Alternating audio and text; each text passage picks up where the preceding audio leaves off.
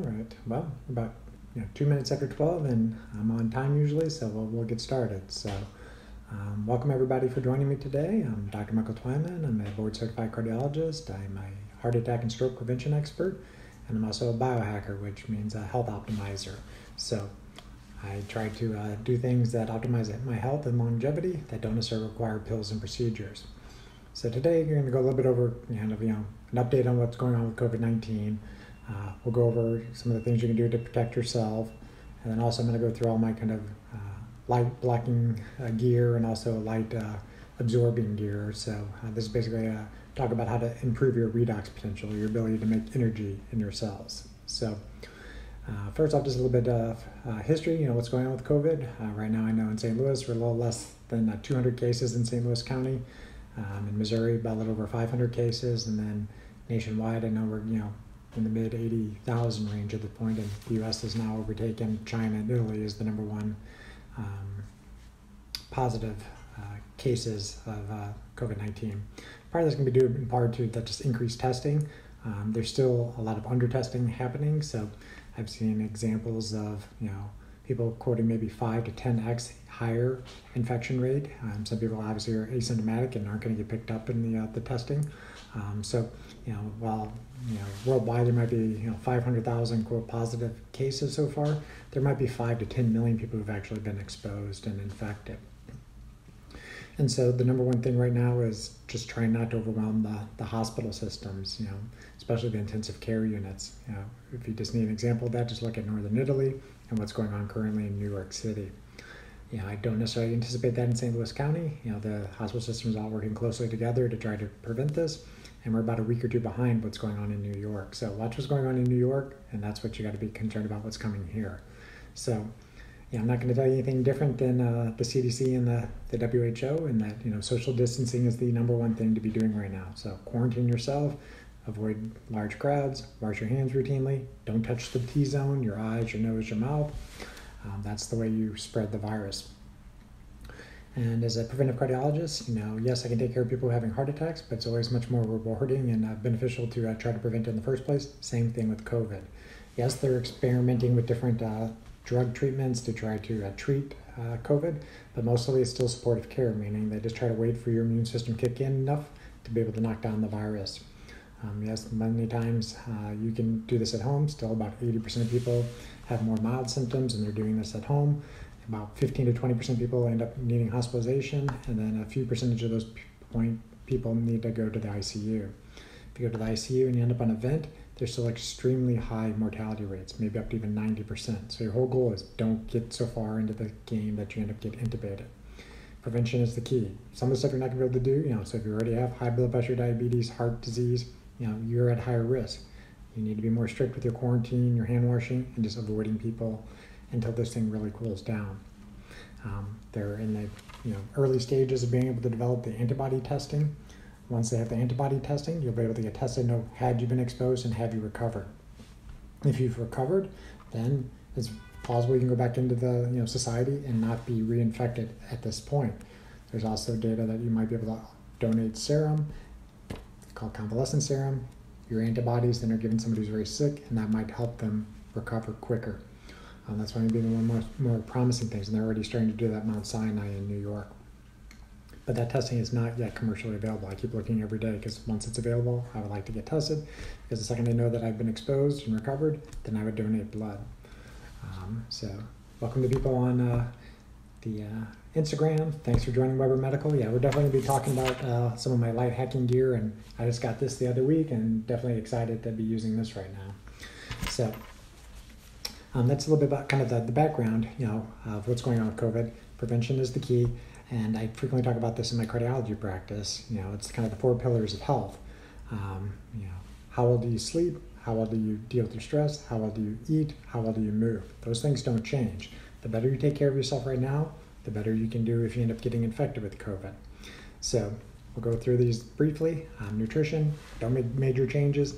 Mostly important, you know, try to uh, try to eat in a 12-hour window or less. That's kind of the time restricted. Give your body some time to recover. That helps reset your circadian rhythm, your 12-hour cycles. I'm sorry, your 24-hour cycles. Then, you know, we'll talk about this with you know your redox potential. DHA is extremely important. DHA is what's found in mostly cold water fish. DHA helps you transmit energy from your environment to your cells. You know, exercise, keep doing what you've been doing. This isn't the time to, you know, just Netflix and chill and do nothing that you were doing previously. Um, but don't add on, you know, intensive exercise. If you weren't, you know, ultra marathoner before, you probably want to dial that back because that's very, you know, pounding on the body right now, beats up your immune system. You need to recover, you know, before you can uh, um, do those type of activities and you don't want to overstress your body at this time. So routine exercise fine, but don't take up marathon running or something like that if you weren't routinely doing that before. Stress, stress is going to be ubiquitous during this, and that's going to be one of the biggest concerns. What's going on with this is not just you know are we going to overwhelm the hospital system, but you know how is the mental health of America and the world going to do with this? Um, you know, anxiety, depression are going to be at all-time highs, and so you know, what can you do to help yourself? So, deep breathing exercises, mindfulness, meditation. Uh, I frequently use HeartMath in my cardiology practice. It's a thing that clips your ear, measures your heart rate variability. It helps you kind of reset your sympathetic and parasympathetic tone. The better those are in balance, the better your stress levels are. You lower cortisol. Cortisol is one of your stress hormones. You're able to bring melatonin up. Melatonin is a hormone that helps you sleep, but it's also the hormone that is a massive antioxidant. It's also something that allows your body to repair the mitochondria at night. The mitochondria are the organelles in your cells that make energy for you. If your mitochondria go, wherever they break is where you're going to have an issue. So, bringing your stress levels down is key during this time. However, you can do that, ideally, you know, do it with something that doesn't require a pharmaceutical uh, intervention, but if it does, that's okay. But one thing you should definitely be careful about is not overdoing it on alcohol right now. You know, alcohol, you know, at low doses, you know, maybe is highly beneficial for keeping your blood thin. High doses, your body has to deal with that toxin. You overtax the system, your immune system starts coming down. So don't overdo the alcohol to try to you know deal with your stress with this right now. And then sleep. Sleep is extremely important for your immune system. Actually, after this talk, I'm going to give another talk to a bunch of medical professionals about how important your circadian rhythms and sleep is. So, your circadian rhythm is your 24 hour cycle. You know, the two major things that set your circadian rhythm are the light that enters your eyes and also the timing that meals come in. So, the meal part, you know, first thing that comes in your mouth in the morning time that isn't water sets your liver and gut clock for the day. 12 hours after that point, Try to stop putting stuff in the system so that the liver and gut have time to shut off. Ideally, three to four hours before you go to bed. This is coming out of work from Dr. Panda. He has a great book called The Circadian Code. I recommend it to you know many of my patients. Explains all the science behind it. But if you give your liver and gut three to four hours to turn off, you're able to get into better fat burning mode. Body composition improves for the most part. Blood sugar starts to improve. Um, but it also helps people who have sleep issues get deep sleep. The deeper you sleep, the better you're able to repair yourself. So, welcome to more people on Instagram. So, um, so deep sleep extremely important. Now we'll talk about the light stuff because that's kind of how I got known as a biohacker or just health optimizer. So, these are particular blue blocking glasses. They just block the light that comes from your technology. So I'll kind of explain what an optimal light environment would be and then show you some of my gear and gadgets. So ideally, you awake right around the sunrise. Go out, see the sun. Nothing between your eyes and the sun. So, no glasses, ideally no contacts. The light that enters your eye in the morning time, blue light, is balanced with red light. That blue light from the sun raises cortisol, wakes you up for the day. You start releasing hormones that your body needs for the day. It's balanced because Mother Nature intended it that way. When you come inside and you're under artificial lights, which there are none in this room on at this time, or you're sitting in front of your technology, that light that comes from your technology is about four to five times intense on the blue light. That blue light, there's receptors in your eye called melanopsin. It's also on your skin. That blue light knocks off the um, compounds that are on the melanopsin receptor and it destroys vitamin A cycling, which ultimately will affect vitamin D. But the big thing that it also affects is your melatonin. Again, melatonin is that hormone that initiates sleep and helps your body repair itself. So when you're inside under artificial light, and especially when you're in front of your technology, you want to be protecting your eyes. Normally, if you see me in the office, I've been wearing these ones. You know, these are my kind of day walker ones or you know daytime ones. They block 40 to 50 percent of the blue light. But during these times, I'm wearing these more often. These are my red ones. They block up to 550 nanometers. So it's blocking all the blue and all the, for the most part, most of the green spectrum. So you're protecting melanopsin um, more effectively. And so I use this in front of all this technology. Right now, I got three screens going: you know, Facebook, Instagram, and Zoom. So, um, so I will use this one in front of a lot of technology. So, other than protecting your eyes, it's also important to protect your skin. There are receptors on your skin that sense light. So when you sleep, your bedroom should be a sanctuary. It should be dark, ideally be cool, and you shouldn't be able to see your hand in front of your face. So dark out shades, eye mask if you don't uh, can't get it completely dark, and any type of night light you have in your room, ideally should be something like um, an amber bulb or a red bulb, so it doesn't affect your night vision. Uh, so that's kind of the kind of light hacking stuff. Then what you can do to build your redox potential. Redox potential is your ability to basically store energy in your cells. Uh, you know, the sun is the number one thing. I'm always going to be recommending the sun. Yes, I have a lot of light gear in here, but the sun is always going to be more powerful. So every one of my patients, I want you out there at sunrise, you know, five, ten minutes at least, and multiple times throughout the day. There's an app called DMinder. DMinder is a free app. It lets you know what time of day to be outside to optimize your vitamin D exposure. So if you're very white and pasty because you've been inside all winter long, you're not going outside all day long just yet. It's like a you know, it's like a callus. You need to build it up slowly. Use this app to help do that uh, in the right way. I've been building up my solar callus since November. I've been down to Mexico twice and was in Puerto Rico recently, so I've kind of slowly built up my redox potential through the wintertime. So hopefully my immune system is at peak optimization right now. So still use the sun no matter what. If it's cloudy, you know, you might not get as much UV, but there's still beneficial wavelengths coming from the sun every single day. And then if you're inside, minimize your artificial light as much as possible. If you're going to use artificial light, try to use some of the better sources of light. And so I'll start showing you some of my gear here. So, um, so I have, you can see my face kind of lit up red. Um, I'll show you that one in a second, but if you're going to ask me what kind of light bulbs do I use, um, you know, yes, I have LED bulbs in my house. I don't use them during the nighttime. I shut them off. I got those before I knew all about this, the kind of light uh, mitigation stuff. But you know, in a couple of my rooms, I have red LED bulbs. This is about like a 10 $15 bulb from Home, Home Depot or Lowe's. Um, you know, I just plug it into a lamp, and at nighttime it preserves your night vision. Um, you can get around your house fine. You know, your house ends up looking like a submarine or a you know photo development shop or something like that. But uh, I don't care because it helps with your sleep optimization. The better you sleep, the better your immune system works. When your immune system works, you're much less likely to have issues with COVID 19.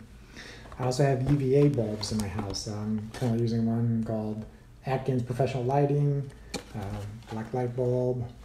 Yeah, basically just put it in a uh, light stand, just take off the uh, you know the cover and just turn it on. So I have one sitting right behind me. So I leave the UVA on whenever the sun is up, and I usually turn it off in the evening time. But the UVA, you know, somewhat can help sterilize the environment, but it also charges the water in your cells. the one thing that I use routinely when I have a lot of computers on is I do have a, a red light box. It's a little bit hard to see on some of the devices.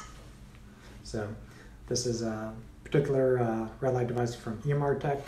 Full disclaimer, uh, I'm not a, an affiliate for any of these companies. I purchase this all on my own and just devices that I've tested and researched and know effectively work. So I'm not paid to talk about any of these devices. Um, but this one has two different settings. It has a very bright central bulb and then a kind of periphery bulb. So if you're doing photobiomodulation, uh, you need to just uh, be you know eight inches or so away and you know helps with wrinkles in your face. But you know, how would you use this for COVID? Uh, you know, use it on you know your heart, where a third of your heart is mitochondria, your brain. So mostly this region. But if you have a musculoskeletal injury, you know, put your body part that hurts in front of it for about 20 minutes and it improves. Um, typically during the daytime, I turn off the central bulb and just leave the, the outer ring bulbs on, and just use that as a, a periphery lighting that kind of can balance out some of the blue light that's coming from from your monitor.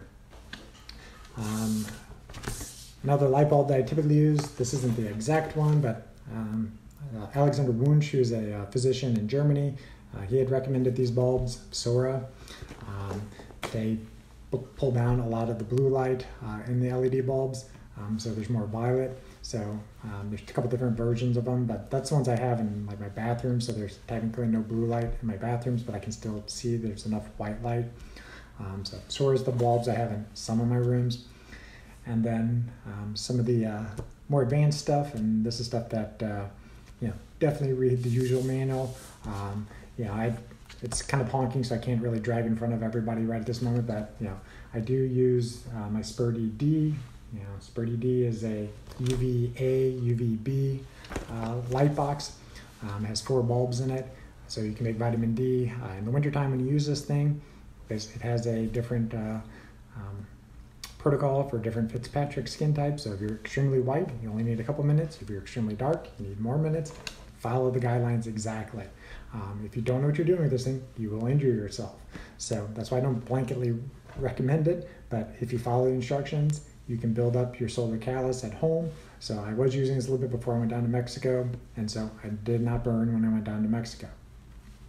And then the thing that I'm most excited about right now um, is I just literally got this uh, now about a week and a half ago from Weber Medical.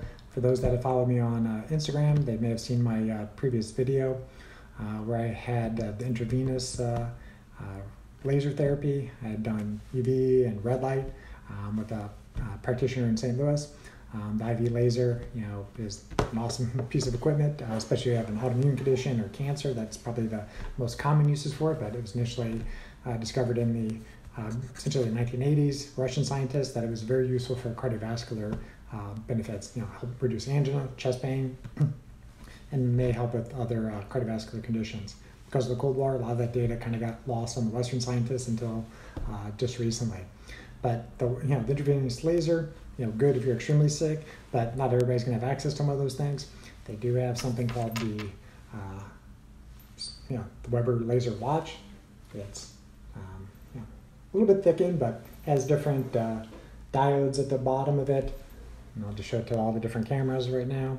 But these different diodes, um, there is red light, there is yellow, there's green and blue light, so you can see the stuff light up, lighting up, lighting up. So it goes over your left wrist, and it's basically putting the laser therapy directly into your radial and ulnar arteries. So um, I always do feel my hand tingling because it's dilating the blood vessels. Um, but this different light therapy can help with oxygen delivery to the cells. It helps with stimulating mitochondria directly, so it's helping build your redox potential. There are a couple adapters to it. There's one for your ears that can help with ringing in the ears, and then this one kind of crazy looking, but goes up your nose, and it's red light therapy. So uh, I tried it yesterday just to see what it'd be like um, before I recommend it to any patients. But um, but if I was to um, start coming down with COVID 19 symptoms, I'd be using that all day long to try to treat the mucous membranes in your sinuses. There's no data that the red light by itself is going to uh, knock down COVID 19, but it would not hurt. There's some data that they had done with uh, the intravenous laser for when MERS was going on, which was uh, in 2012, 2013, I believe. You know, they don't have you know absolute conclusive data, but with a UV laser, they were able to knock down some of the viral replication of this thing. So then your immune system can go in there and take care of the virus. So if I were to get extremely sick uh, with COVID 19, I would be looking for the, uh, the intravenous laser if I could get access to it. Uh, so that's a little bit the, the run through of all my kind of uh, light gadgets and my light blocking gadgets. Um, so at this time, I will um, open it up to uh, any questions. So um, uh, let me uh, just let people unmute themselves on the, the Zoom call, and if anybody has any questions on Instagram, I'll be happy to answer anything for you guys. All right, so uh, there's a chat box also open available if you guys want to type it in, in the Zoom call. Um, so let's see.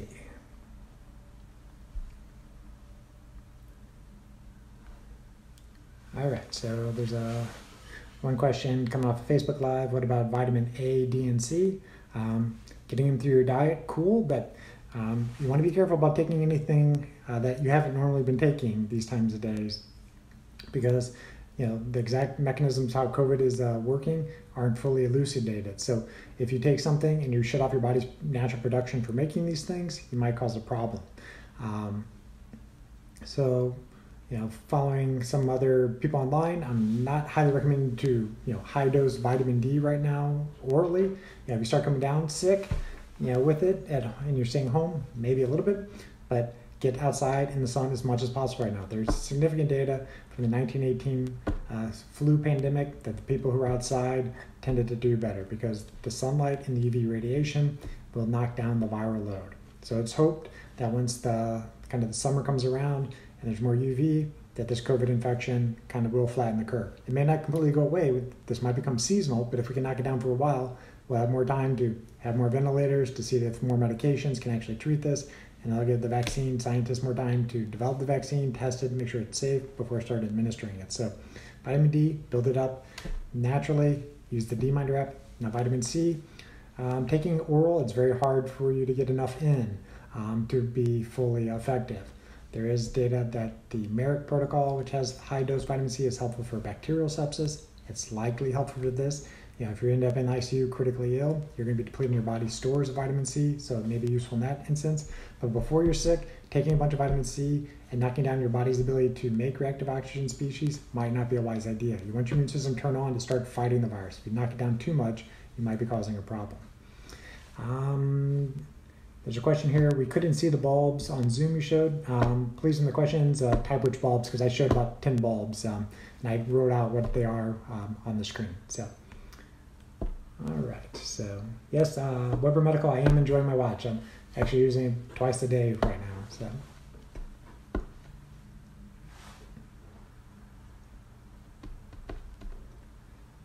All right. And then we got, you know, good amount of people on the Zoom call. Uh, what uh, what questions does the Zoom uh, Zoom people have? You can type it in or uh, unmute yourself and ask the question if you like.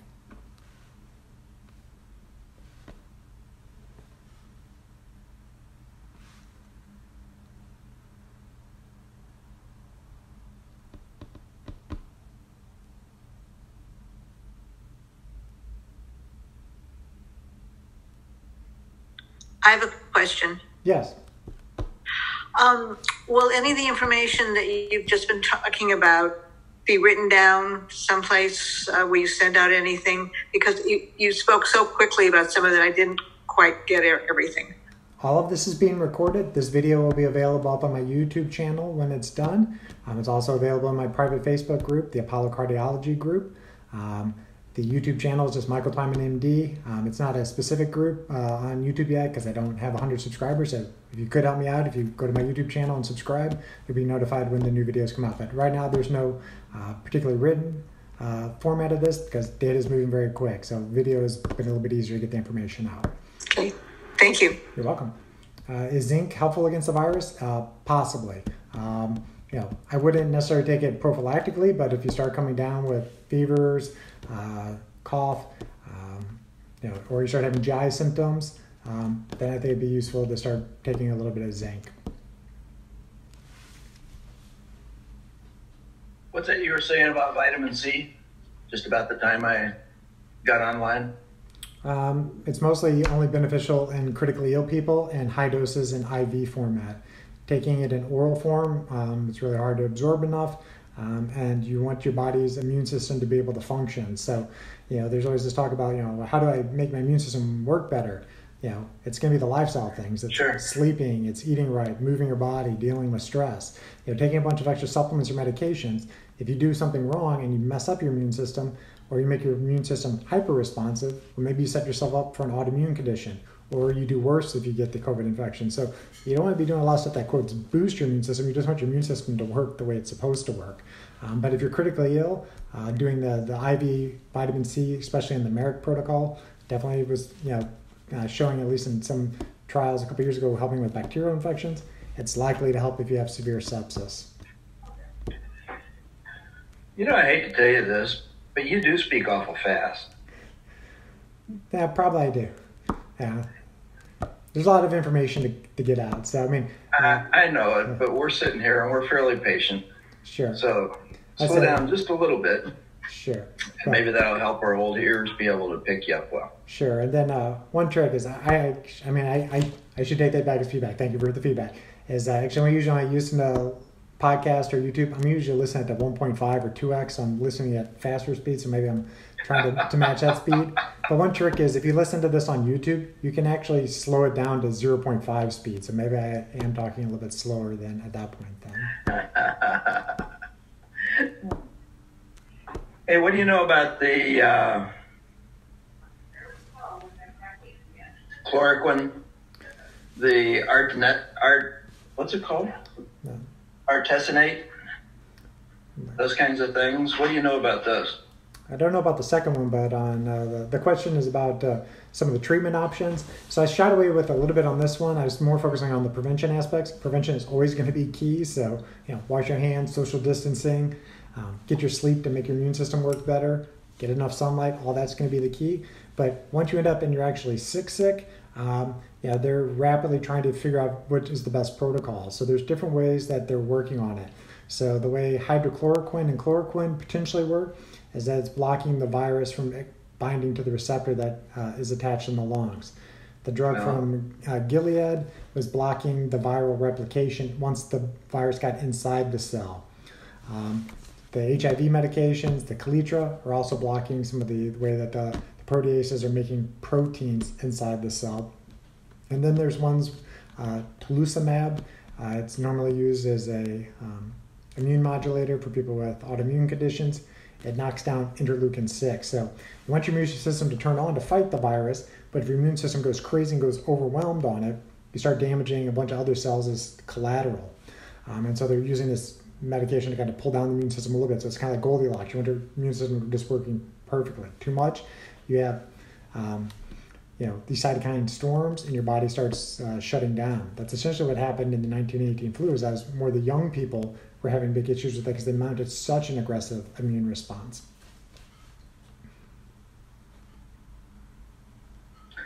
What did you say the name of your uh, YouTube channel is?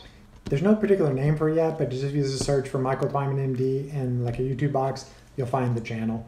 But if you do okay. me a favor, just subscribe to it. Once I hit 100 subscribers, then I can uh, name it to something be like Dr. Twyman, make it a lot easier to tell people how to find it then. Okay. All right. And if uh, Weber Medical is still on Instagram, I do have a question for you: Is, is there a particular protocol on the uh, on the laser watch uh, that's useful? Right now, I'm using all four colors for 30 minutes, but at the at the highest uh, intensity. But just interested if there's any particular protocols uh, for immune modulation.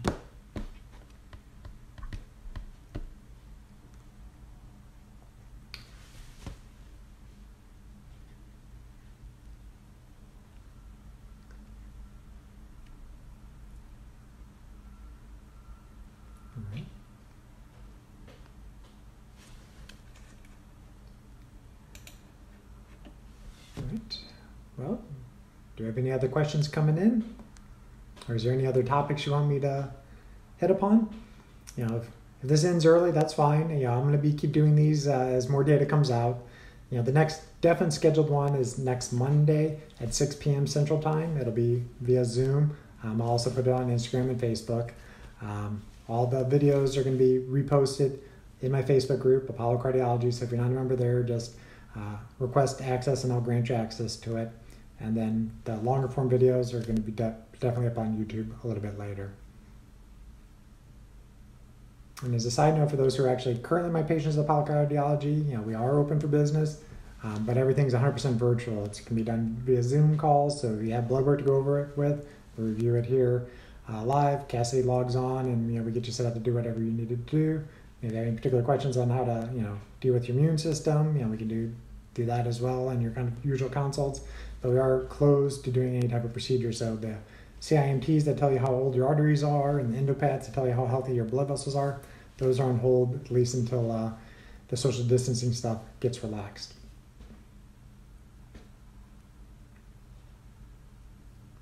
Uh, what is the brand for the laser watch? It's made by a company called uh, Weber, Weber Medical out of Germany.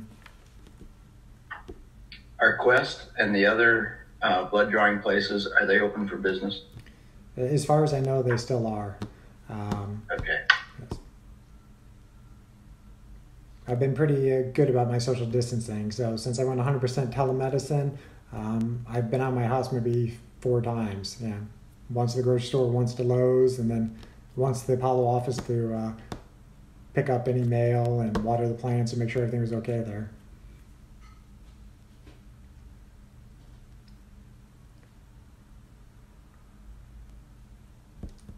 All right, everybody. Well, I'm gonna probably let you go then. Um, thank you for joining me today. You know, if you need any help in the interim, you know, shoot me an email at apollocardiology at gmail.com you know, same website, apollocardiology.com. You can book appointments with us or ask us questions. Um, but all my kind of COVID stuff is going to be on mostly Instagram. That's where I'm doing more of my information. If you're in the Facebook group, I will also be sharing some articles from some other colleagues. So thank you guys and have a great day. And uh, we'll see you back on Monday. See you guys. See you on Facebook.